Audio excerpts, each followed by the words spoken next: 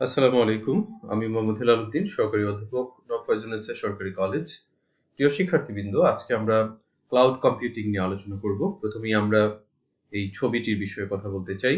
আমরা এখানে বেশ কয়েকটি আলাদা আলাদা ডিভাইস দেখতে পাচ্ছি। সবগুলোই অপটিক্যাল ফাইবার বা এই ধরনের কোনো ক্যাবলের মাধ্যমে একটি সার্ভারের সাথে যুক্ত আছে এবং সেই সার্ভার থেকে তাদের প্রয়োজনীয় বিভিন্ন সেবা যেগুলো আছে, তারা এখানে এই ডিভাইসগুলোর মধ্যে, এই যন্ত্রগুলোর মধ্যে সেগুলো ব্যবহার করে থাকে। অপর ছবিতে আমরা খেয়াল করব যে তারবিহীন অবস্থায় নানাভাবে তারা বিভিন্ন সার্ভারের সাথে যুক্ত থাকছে। ইন্টারনেটের মাধ্যমে সেই সব সার্ভার থেকে তারা প্রয়োজনীয় সুবিধাগুলো গ্রহণ করছে। সুতরাং ক্লাউড কম্পিউটিং বলতে আমরা বুঝাচ্ছি ওয়েবে যুক্ত হয়ে কিছু গ্লোবাল সুবিধা যেমন অনলাইন ব্যাকআপ সামাজিক যোগাযোগ পার্সোনাল ডেটা গ্রহণ, এই ধরনের যে পদ্ধতিগুলো আছে বা যে প্রক্রিয়া আছে সেই প্রক্রিয়াকে আমরা বলছি হচ্ছে ক্লাউড কম্পিউটিং নানাভাবে ক্লাউড কম্পিউটিংকে ডিফাইন করা যায় বা আলোচনা করা যায়, কারণ এটি একটি ব্যাপক বিষয়। একটি বিস্তারিত আলোচনার বিষয় কিন্তু এই পর্যায়ে ইন্টারমিডিয়েটের স্টুডেন্টদের জন্য আমি সংক্ষেপে এটি তুলে ধরার চেষ্টা করছি। এনআইএসটি অর্থাৎ National Institute of Standard and Testing এদের মতে ক্রেতার তথ্য বিভিন্ন অ্যাপ্লিকেশনকে কোনো সেবাদাতা সিস্টেমে আউটসোর্স করার একটি মডেল যেখানে তিনটি বৈশিষ্ট্য থাকে, সেটিকে আমরা বলছি ক্লাউড কম্পিউটিং সেই তিনটি বৈশিষ্ট্যের মধ্যে রিসোর্স স্কেবিলিটি ক্রেতার সব ধরনের, অর্থাৎ ছোট বা বড়, যেরকম চাহিদাই হোক, সেই চাহিদা মেটানো হবে। অনলাইন ডিমান্ড অর্থাৎ ক্রেতা যখন চাইবে, তখনই সেবা দিতে পারবে। ক্রেতা তার ইচ্ছা অনুযায়ী যখন খুশি, তার চাহিদা বাড়াতে পারবে বা কমাতে পারবে। তিন হচ্ছে পে অ্যাজ ইউ গো ক্রেতা যা ব্যবহার করবে, কেবল তারই জন্য পেমেন্ট করতে হবে। ক্রেতাকে আগে থেকে কোনো সার্ভিস রিজার্ভ করতে হবে না যে আমি এই প্যাকেজটা কিনে রাখলাম। আমি পঞ্চাশ এমবি কিনে রাখলাম, আমার দশ এমবি খরচ হলো আর চল্লিশ এমবি মানে চল্লিশ জিবি লস হলো। এরকম কোনো কাজে আমাদেরকে যেতে হবে না। ক্লাউড কম্পিউটিং এর কিছু বৈশিষ্ট্য আমরা এখানে খেয়াল করছি। এটি সাবলীলভাবে কাজের উন্নতি সাধন করে। বিভিন্ন ধরনের হার্ডওয়্যার এবং সফটওয়্যার শেয়ার করা যায়। রিসোর্স শেয়ারে খরচ কম হয়, স্বাভাবিক পদ্ধতির চেয়ে ভার্চুয়াল প্রযুক্তি ব্যবহার করা যায়। অধিক নির্ভরযোগ্য এবং নিরাপদভাবে ডাটা স্থানান্তর করা যায়। এটির ধারণ ক্ষমতা অধিক এবং রিসোর্স অধিক নিরাপদ থাকে। এটি নিয়ন্ত্রণ এবং পরিচালনা করা সহজ হয়।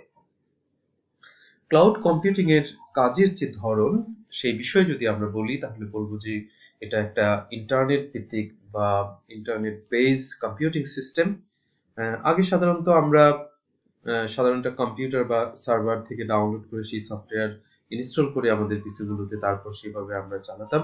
কিন্তু ক্লাউড কম্পিউটিং এটা ইনস্টল না করেও আমরা কিন্তু সেবা নিতে পারি। আমি যদি ছোট্ট করে উদাহরণ দিই, যেমন আমরা গুগল ম্যাপ গুগল ট্রান্সলেটর অথবা গুগল ডক গুগল ক্লাসরুম এই যে গুগলের সেবাগুলো, সেই সেবাগুলো কিন্তু আমাদের এখানে ইনস্টল না করেও আমরা জাস্ট ইন্টারনেটের কানেকশনের মাধ্যমে গুগলের অ্যাপসে গিয়ে সেখান থেকে আমরা আমাদের এই সেবাগুলো পেতে পারি। সেটা কিন্তু আমরা ক্লাউড কম্পিউটিং এর মাধ্যমেই পাচ্ছি। সুতরাং আমরা বলতে পারি যে ইন্টারনেটের মাধ্যমে বিভিন্ন অ্যাপ্লিকেশনে একই ধরনের যে অ্যাক্সেস বা সেখান থেকে আমাদের প্রয়োজনীয় কাজে সেটাকে ব্যবহার করার যে কার্যপদ্ধতি, সেটি হচ্ছে ক্লাউড কম্পিউটিং এর কার্যপদ্ধতি।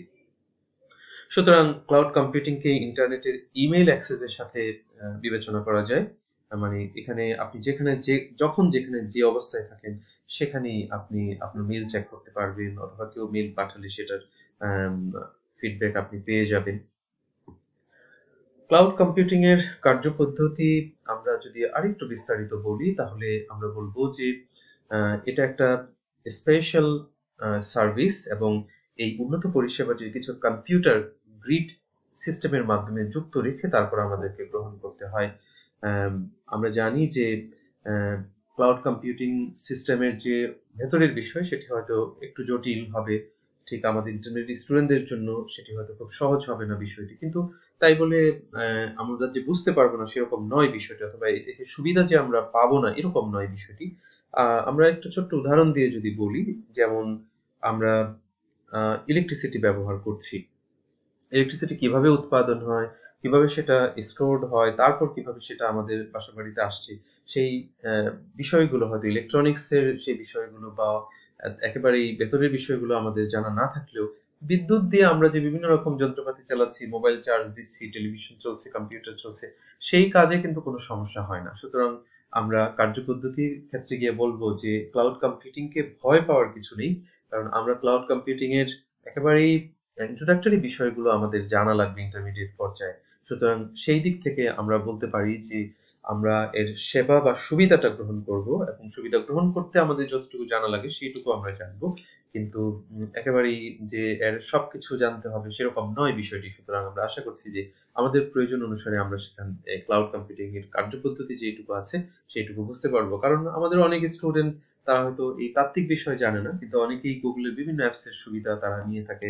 অর্থাৎ Google translator Google classroom Google doc সহ আরও যেসব নানা রকম সুবিধা আছে ম্যাপ গাড়ি চালালেই সেখানে ম্যাপের বিষয় আসে এবং সারা পৃথিবীতে বিভিন্ন জায়গায় আমরা দেখেছি যে সেখানে আস্তে আস্তে এই গুগল ম্যাপের উপর নির্ভরশীল হচ্ছে সবাই। সেভাবে তারা পথ খুঁজছে বা গাড়ি ড্রাইভিং স্বয়ংক্রিয়ভাবে হচ্ছে বিমান চলছে। তো এইভাবে আস্তে আস্তে সেই সেবাগুলো বিভিন্ন জায়গায় ব্যবহার হচ্ছে। যত বেশি ব্যবহার হবে তত এগুলো সম্পর্কে আমরা বিস্তারিত জানব। ক্লাউড কম্পিউটিং এর ইতিহাস বেশ পুরনো। উনিশশো ষাট সাল, দুই হাজার দশ সালে দা র্যাক স্পেস ক্লাউড এবং নাসা মুক্ত অ্যাপ্লিকেশন প্রোগ্রামিং ইন্টারফেস ব্যবহার তারা শুরু করে।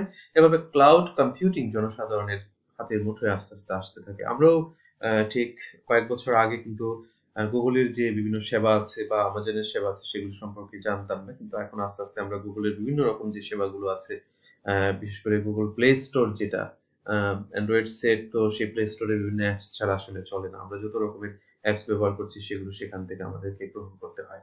যাই হোক, এখানে আমরা সেই জায়গাগুলো একটু তুলে ধরার চেষ্টা করছি যা আমরা আসলে গুগল, তারপরে আমাজন ডট কম, এইভাবে আস্তে আস্তে নানা রকম ক্লাউড কম্পিউটিং যে সার্ভিস বা স্টেশন আছে সেগুলো থেকে আমরা সেবা পাচ্ছি। আমরা যদি ইম্পর্টেন্সের কথা বলি তাহলে আসলে বর্তমানে আমরা যেইটুকু ব্যবহার করছি আস্তে আস্তে ক্লাউড কম্পিউটিং এর গুরুত্ব আরও বাড়বে কারণ স্বাভাবিক যে কম্পিউটিং সেই কম্পিউটিং এর যে ক্লাউড কম্পিউটিং নানা কারণে অনেক বেশি আমাদের জন্য সুবিধাজনক। সুতরাং আমরা আস্তে আস্তে দেখব যে একটা সময় গিয়ে এই ক্লাউড কম্পিউটিং এর ব্যবহারই হচ্ছে। এখানে আমরা যদি ছোট্ট করে বলি যে আমরা বড় একটা ইন্ডাস্ট্রি করার জন্য আমাদের হাজার হাজার হাজার পিসি কিনতে হয়, তারপরে আরও নানা রকম হার্ডওয়্যার যন্ত্রপাতি প্রিন্টার এটা সেটা এগুলো কিনতে হয়।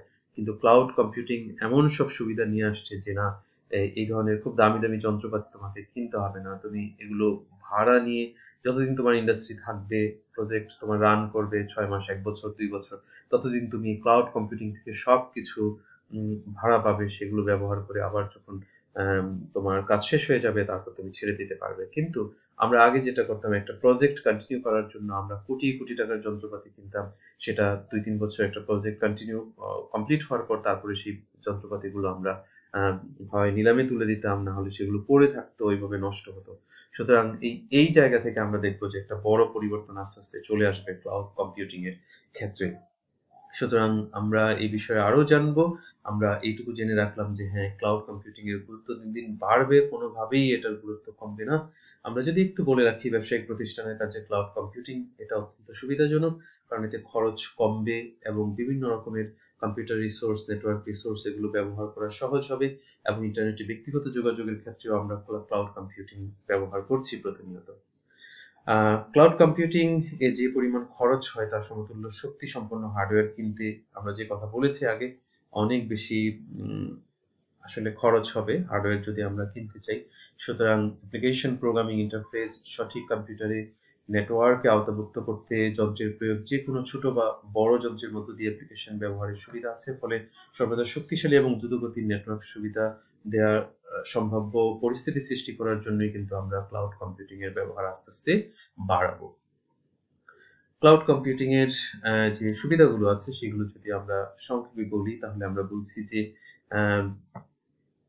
এর ব্যবহার এতে ব্যবহার অনুসারে খরচ করতে হয় বলে ব্যবসায়িক খরচ কমে যাবে, অর্থাৎ যেটুকু প্রয়োজন সেইটুকুই আমরা খরচ করব। ব্যবসায়িক দিক বিবেচনা কম মূলধন দিয়ে বেশি লাভ করার যে কৌশল সেটা আমরা নির্ধারণ করতে পারব। এতে বিশ্বের যে কোনো স্থানে দ্রুত ইন্টারনেট অ্যাক্সেস করার সুযোগ সৃষ্টি হয়েছে এবং কম্পিউটার নেটওয়ার্ক তৈরি এবং রক্ষণাবেক্ষণ খরচ কমে যাবে। কম হার্ডওয়্যার ব্যবহার করে বেশি আউটপুট পাওয়ার ব্যবস্থা ক্লাউড কম্পিউটিং এর মাধ্যমে সম্পন্ন হচ্ছে।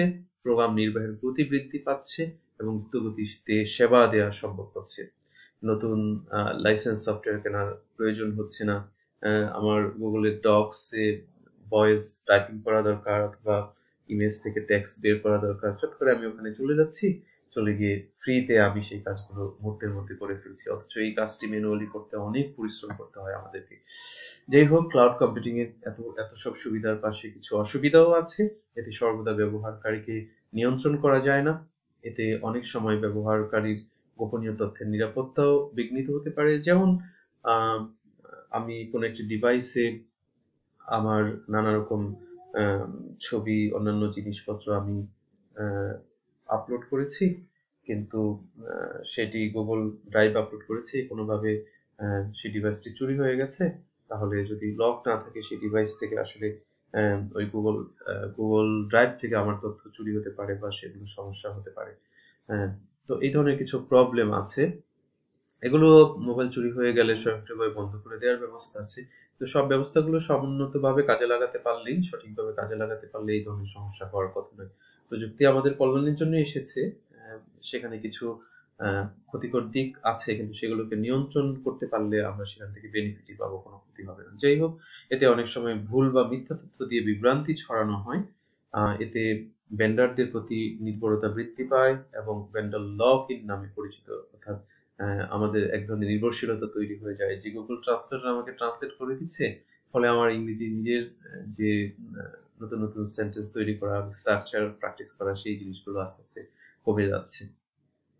যাই হোক ক্লাউড কম্পিউটিং এর যে মডেল আছে, সেখানে আমরা চার রকমের মডেল দেখব। পাবলিক ক্লাউড বারবার বুঝছিলাম গুগল এবং আমাজনের যে ক্লাউড কম্পিউটিং সুবিধা আমরা পেয়ে থাকি। কমিউনিটি একেবারে সবার জন্য এটা উন্মুক্ত পাবলিক যেটা। আর কমিউনিটি ক্লাউড ক্লাউড যেটা একটা নির্দিষ্ট সম্প্রদায় বা কমিউনিটির জন্য বিশেষ ব্যবস্থায় সেই সেবা দেওয়া হয়ে থাকে। আর হাইব্রিড ক্লাউড হচ্ছে আমরা জানি যে পাবলিক সবার জন্য আর প্রাইভেট হচ্ছে একেবারে ব্যক্তিগত পরিসরে। এই পাবলিক এবং প্রাইভেট এই দুটোকে যখন এক জায়গায় সার্ভিস দেওয়া হয়, তখন সেটাকে আমরা বলছি হচ্ছে হাইব্রিড ক্লাউড প্রাইভেট ক্লাউডটা একেবারেই ব্যক্তিগত পরিসরে অর্থাৎ ব্যক্তিগতভাবে পেমেন্ট করে আমরা কোনো বিশেষ ক্লাউড সুবিধা নিতে চাচ্ছি সেটা আমি ছাড়া আর কেউ এই সুবিধা পাবে না। আমার কাছ থেকে ক্লাউড সেই সুবিধা নিচ্ছে, আর্থিকভাবে আমি তাদের কাছ থেকে বেনিফিট পাচ্ছি। ক্লাউড কম্পিউটিং এর যে সার্ভিস সেগুলো প্রধানত তিন রকম, কিন্তু পরবর্তীতে আরও দুই রকমের কথা আমরা জানি। মোট পাঁচ রকম হবে। এখানে প্রথমে আমরা দেখছি ইনফ্রাস্ট্রাকচার অ্যাজ এ সার্ভিস অর্থাৎ ক্লাউড কম্পিউটিং আমাদেরকে অবকাঠামোর দিক থেকে সার্ভিস দিয়ে থাকে, আবার প্ল্যাটফর্মের দিক থেকে সার্ভিস দিয়ে থাকে, আবার সফটওয়্যার প্রোভাইড করার মাধ্যমে আমাদেরকে সার্ভিস দিয়ে থাকে। আর বাকি দু রকম যে দুটো আছে, সেটি হচ্ছে নেটওয়ার্ক অ্যাজ এ সার্ভিস এটি আস্তে আস্তে খুব জনপ্রিয় হচ্ছে। এবং cloud user as a service এই, এটি, এই দুটো আমরা খেয়াল করছি যে এটি লেটেস্ট প্রযুক্তি, এই প্রযুক্তিগুলো আস্তে আস্তে এর সাথে যুক্ত হচ্ছে এবং এই ক্লাউড কম্পিউটিং এর নানা রকম যে সেবা, সেই সেবাগুলো আমাদেরকে সহজলভ্য করে তুলছে। ক্লাউড কম্পিউটিং এর ব্যবহারের কথা আমরা আগেই বলে আসছি, তবে আরেকটু বলছি যে গুগলের বিভিন্ন প্রয়োগ যেমন জিমেইল পিকাসো থেকে শুরু করে পৃথিবীর আবহাওয়া বা কোনো দেশের আদমশুমারির মতো বিশাল তথ্য ব্যবস্থাপনা ব্যবসায়িক, বৈজ্ঞানিক ইত্যাদি নানান ক্ষেত্রে এর অপরিসীম ব্যবহার, সর্বোপরি যোগাযোগের ক্ষেত্রে, চিকিৎসা ক্ষেত্রে এবং মানব কল্যাণে এটি অনবদ্য ভূমিকা পালন করে যাচ্ছে। এখানে আমরা যে বিষয়গুলো দেখছি, একটু খেয়াল করব যে documents training database presentation collaboration contacts spreadsheet বা ইমেইল সহ নানা রকম যে সুবিধাগুলো আছে, সেগুলো কিন্তু আমরা এখান থেকে ব্যবহার করতে পারছি। তো প্রিয় শিক্ষার্থীরা, আজকে এ পর্যন্তই। ক্লাউড কম্পিউটিং একটি বড় বিষয়, আমরা ছোট করে এখানে বলার চেষ্টা